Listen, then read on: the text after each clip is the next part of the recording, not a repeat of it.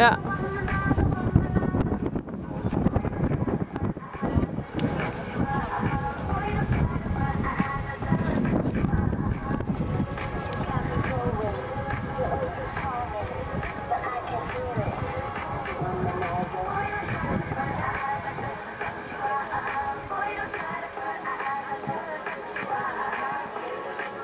Där tvekade hon lite grann vad som Mm. hon skulle genomföra.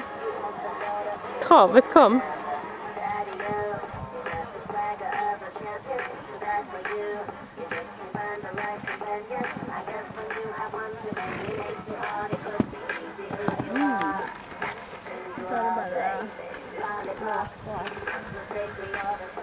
Ja, precis.